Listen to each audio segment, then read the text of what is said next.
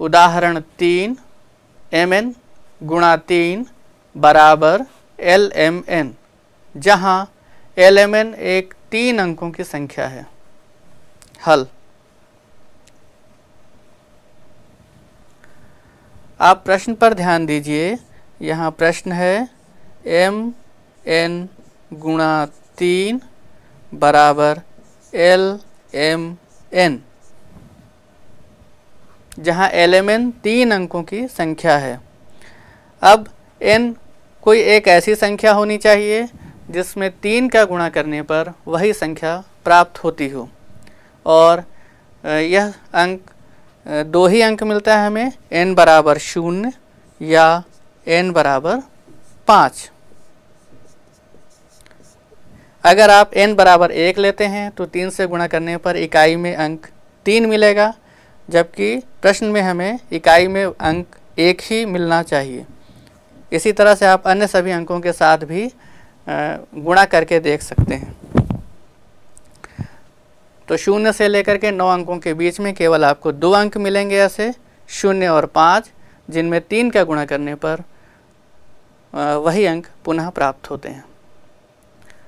अब, संख्या M N को हम विस्तारित रूप में लिख सकते हैं, इस तरह से। एम एन बराबर दस एम धन एन प्रश्नानुसार, प्रश्न में क्या है? एम एन को तीन से गुणा करना है, इसलिए एम एन गुणा तीन बराबर कोष्ठक में दस एम धन एन गुणा तीन। या हम इसको लिख सकते हैं। तीस एम धन तीन एन। और हमारा एम एन से तीन का गुणा करने पर जो हमें संख्या प्राप्त होती है, वह एल एम एन है। इसे भी हम विस्तारित रूप में लिखते हैं। एल एम एन बराबर सौ एल धन दस एम धन एन। चूँकि एम एन को तीन से गुणा करने पर एल एम एन प्राप्त होता है, इसलिए हम लिख सकते हैं तीस एम धन तीन एन बराबर सौ एल धन दस एम धन। एन अब एन के हमारे पास दो मान हैं एन बराबर शून्य या एन बराबर पाँच। यदि हम एन बराबर पाँच लें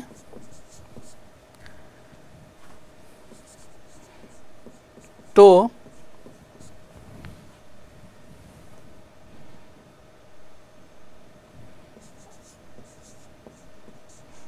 तीस एम धन एन की जगह पाँच लेंगे तो तीन पंचे पंद्रह बराबर सौ एल धन दस एम धन पाँच। या हम इस, इसको इस तरह से लिख सकते हैं। तीस एम ऋण दस एम, ये दस इधर पक्षांतर करके ले आए। बराबर सौ एल धन पाँच, धन पंद्रह इस तरफ़ आके हो गया। ऋण पंद्रह। तो ये हमें मिला बीस एम बराबर सौ एल ऋण दस। या हम इसको ऐसा लिख सकते हैं, एम बराबर सौ एल ऋण दस बटे बीस। या हम इसे इस तरह से भी लिख सकते हैं m बराबर दस दस एल ऋण एक बटे बीस। दस एकम दस दस दूनी बीस। तो हम इस तरह से प्राप्त करते हैं, दस एल ऋण एक बटे दो। अब इस पर ध्यान दीजिए। चूँकि एल का मान शून्य से नौ के बीच का कोई भी अंक हो सकता है, इसलिए जब जब भी हम कोई अंक लेते हैं दोनों के बीच का तो हमें पूर्ण संख्या प्राप्त नहीं होती, पूर्ण अंक प्राप्त नहीं होता है। उदाहरण के लिए, हम l बराबर शून्य लें तो m बराबर मिलता है शून्य ऋण एक बटे दो या ऋण एक बटे दो। इसी तरह से एक लेंगे तो हमें संख्या मिलेगी नौ बटे दो और इसी तरह से और आगे। हम ये देखते हैं कि शून्य से नौ तक एल के किसी भी मान के लिए एम का उचित मान संभव नहीं है, अतः एन बराबर पाँच संभव नहीं है। अब हम एन के दूसरे मान एन बराबर शून्य पर विचार करते हैं। हमने शुरू में लिखा था, तीस एम धन तीन एन बराबर सौ एल धन दस एम धन एन। यहाँ पर एन बराबर शून्य रखने पर हमें मिलता है तीस एम बराबर सौ एल धन दस एम। क्योंकि एन का मान शून्य है, इसलिए तीस एम धन तीन गुणा शून्य बराबर शून्य होगा, इसलिए हमने तीस एम लिखा है यहाँ पे। और इसी तरह से शून्य, एन की जगह में शून्य रखेंगे, शून्य किसी भी संख्या से जोड़ने पर फिर से वही संख्या हमें मिलती है, इसलिए सौ एल धन दस एम धन शून्य बराबर सौ एल धन दस एम।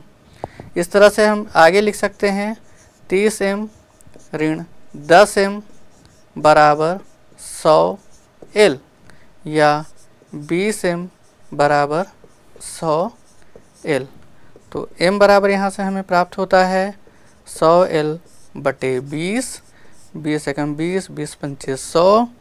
तो एम बराबर हमें मिलता है यहाँ से पाँच एल।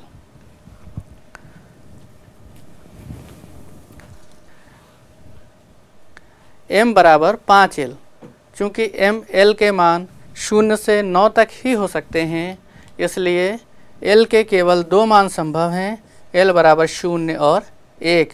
क्योंकि एम बराबर पाँच एल है, इसलिए अगर हम एल बराबर दो लेते हैं तो पाँच गुणा दो, यानी हमें दस मिलता है, जो दो अंकों की संख्या है। इसी तरह से तीन चार से लेकर नौ तक के अंक लेने पर हमें संख्याएँ दो अंकों की मिलेंगी। अतः एल का मान हम हमें प्राप्त होता है शून्य और एक। लेकिन जब हम एल का मान शून्य एल बराबर शून्य लेते हैं, तब चूँकि एम बराबर पाँच एल है, इसलिए एम बराबर भी हमें शून्य मिलता है। ऐसी स्थिति में संख्या एल एम एन भी हमें ऐसी मिलती है जिसके तीनों अंक शून्य हो जाते हैं। अतः यह यह संभव नहीं है। इसलिए l बराबर एक होगा और l बराबर एक लेने पर m बराबर पाँच गुणा एक, यानी पाँच। अतः हमारा मूल प्रश्न होगा, पचास गुणा तीन बराबर एक सौ पचास। करके देखें। एक एक बी गुणा बी बराबर छियानवे हो तो बी का मान ज्ञात कीजिए। दो, तिहत्तर एम भागित आठ बराबर नौ एन में एम तथा एन का मान ज्ञात कीजिए।